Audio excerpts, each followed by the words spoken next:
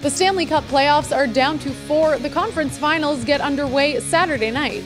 Out west, the Chicago Blackhawks will take on the Anaheim Ducks in what will be Chicago's fifth Western Conference final in seven seasons. The series features the top two point getters of the playoffs Corey Perry, who has 15 points, and Patrick Kane with 13. In the East, the New York Rangers survived an OT thriller in Game 7 against the Washington Capitals. The Rangers move on to face the Tampa Bay Lightning. All eight of New York's playoff wins have been one goal games, and they're 4 0 in overtime in the playoffs.